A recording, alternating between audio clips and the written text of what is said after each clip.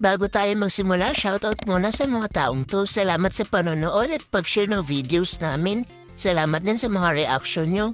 Baka meron pang hindi nakasubscribe o nakafollow sa Facebook page namin, mag-follow na kayo.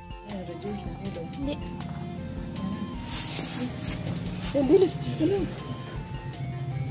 Ayaw, bubutasan mo. Ito at nanganganak na nga ang aming Belgian Malinois, si Bailey. Kaso nga lang wala ako sa bahay ng mga oras na to dahil nasa birthday yan ako nanunulungan. Kaya eto, nagchat agad sa akin si Commander Bawang. Hindi niya alam ang gagawin kaya natataranta na siya. Ayan at may missed call pa nga. Buti na lang talaga magaling si Bailey kahit first baby niya inailabas niya ng maayos. Ayan at chill na chill nga lang siya nag-aantay ng pangalawang lalabas. Habang nag-aantay sa pangalawa, ito at dumedede na nga yung una. Siyempre susulitin na niya kasi una siyang lumabas. Bilisan mo dyan dahil mamaya tatanggalin ka din namin baka kasi madaganan ka pag lumabas na yung pangalawa. Umuwi na din ako agad nung nalaman ko nanganganak na si Bailey. At eto nga, palabas na yung second puppy na inabutan ko. Very good na very good si Bailey kasi chill lang siya at alam niya yung gagawin. Hinahayaan lang namin silang mailabas ng maayos ni Bailey at kapag kailangan niya ng tulong, tsaka na lang kami lalapit.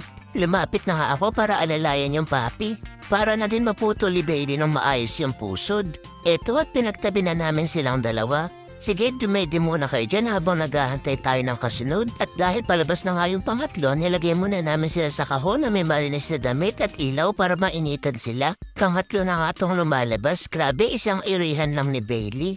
Ayan din indilaan lang ni Bailey tapos mamaya kakagatin niya yung panubigan hanggang sa mabutas. Mukhang nahihirapan siya sa pagbutas kaya tinulungan ko na siya para makahinga agad yung papi. At syempre, nag-alcohol muna ako ng kamay bago ko hinawakan yan. Eto na nga tayo sa pang-apat.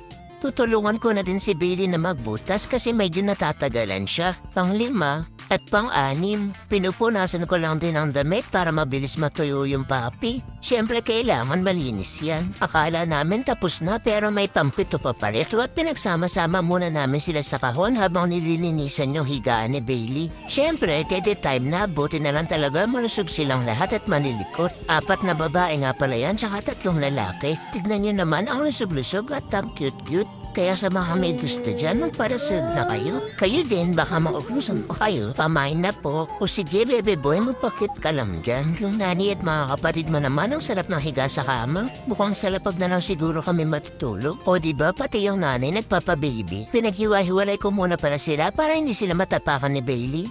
Medyo mabigat kasi yung paa ni Bailey kahit ako pang natatapakan na sasaktan. O sige na hanggang dito na lang sa mga gustong bumili dyan para serve na kayo. See you sa next vlog namin. Bye-bye!